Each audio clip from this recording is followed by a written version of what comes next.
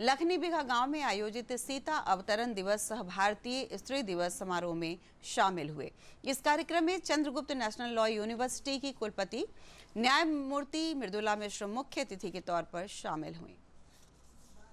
जो उल्लेख किया गया है वो मैं समझ रही हूँ कि में भवन निर्माण